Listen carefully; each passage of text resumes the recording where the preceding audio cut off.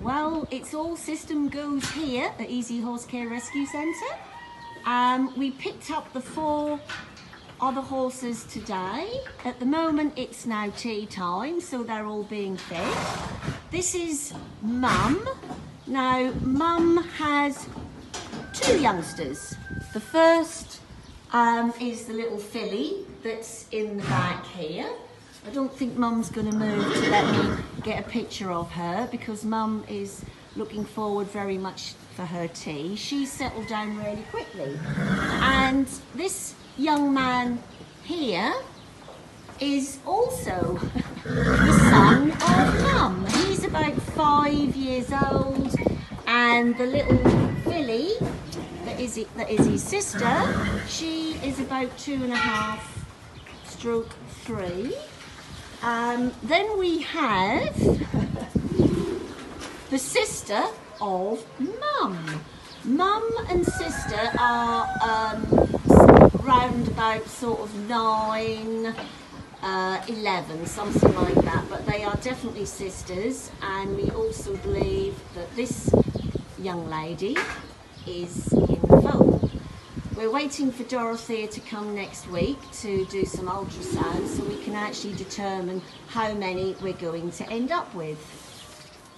In the meantime, Rod is beavering away in the background there, trying to finish off some more mini stables.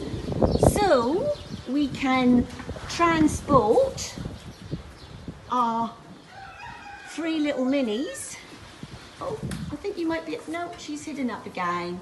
Just trying to get the little filly on the video, but no, no, she's a little bit shy. She's hiding up. So, in the meantime, we have, just so you can get an idea what it's like here at tea time.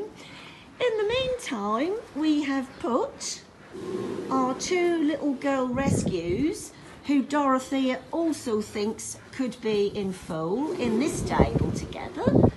And the little stallion is in this stable. Because he's been kept with the two young girls, we suspect they could also be in foal. But as I said, all will be revealed um, next week when we do the ultrasound.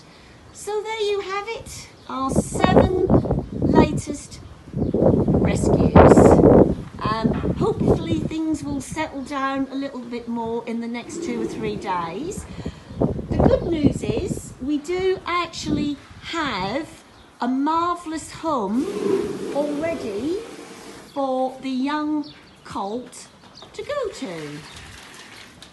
Um, he's actually off in about two weeks time to his new home. He needs to stay here because he's very, very malnourished to get some strength back into him so he's ready for the next journey in the trailer to his lifelong home and it's an absolutely super home that he's going to with a very very uh, knowledgeable person She said, horses all her life lots of land and this will be his forever home. One of her horses is in his 20s and she's had him all his life. She's the sort of person that we look for to rehome our horses with. So there we are. Just another day at easy horse care rescue. Very quickly